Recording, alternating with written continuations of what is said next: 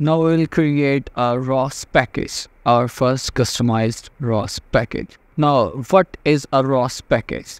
ROS package is an organized unit that will contain your code. If you want your code to be installed and you want to utilize it, execute it, then you need to specify an organized manner in inside a package.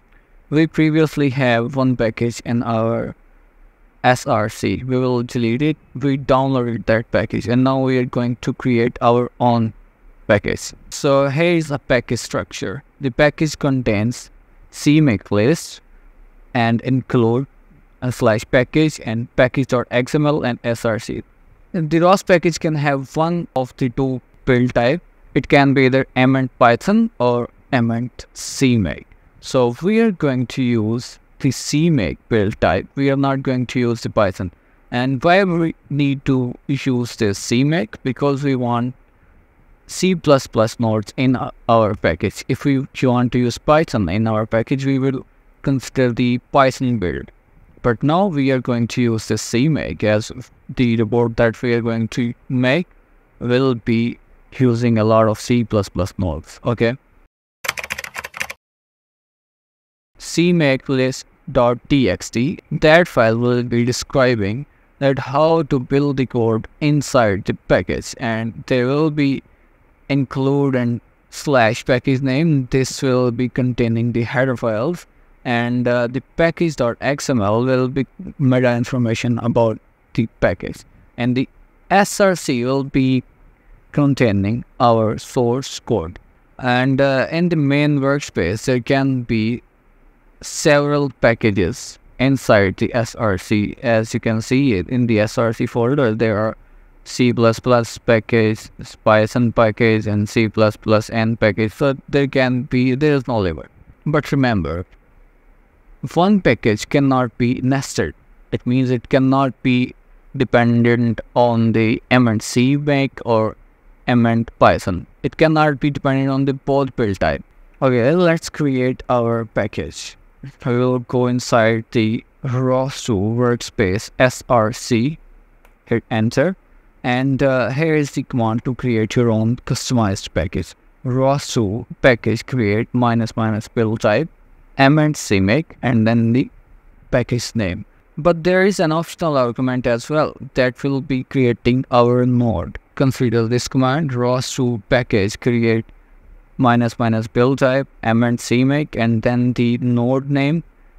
This is the node name, and then this is the package name. We will consider this command. Okay copy that and paste it here. So what we are going to name our package this is going to be the turtle same port the node should be like uh, my node. It's fine. And we will hit enter and uh, there we go it has created this package right here. Turtles import and this is going to be our package on which we will be working on. And if we want to build this package then we will have to use colcon build or the colcon build minus minus symlink install. Uh, if we use this command this will be building all the packages that are residing inside the src currently we have one but if we have multiple packages in our workspace and we want to just build one. Then there is also a command exists and the this command name colcon build minus minus package select and my package go back and call con build minus minus sam link minus install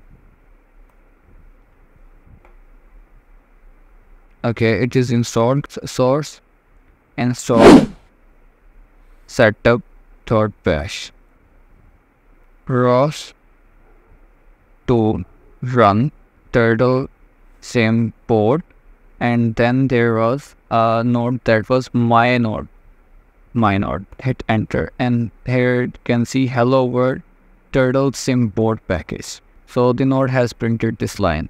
It means our node is working and if we open up this there are some directories include that will contain header files currently it does not have any and uh, inside our src it is our node and uh, these are the CMake list and package.xml. Now if we want to open up these files, we will need an editor. So I recommend you to go to your Ubuntu store and download VS Code. That is a lot helpful if you want to use it with the ROS uh, code. There will be some uh, here. Okay, this is the code that you will install from here. There will be an option. In my case, this is already installed. If I want to open this package completely with VS Code, what will I do? I will click right, opening terminal, and uh, code space dot.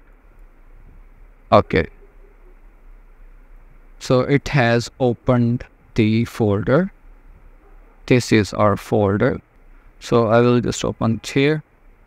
And then there will be some recommendations to you here that if you want to install the ROS, ROS extension, then you will come here to the extension and type ROS. There is the extension that you need to install. You will go here and in my case this is already installed but you will be seeing an option here install and uh, I will come to the files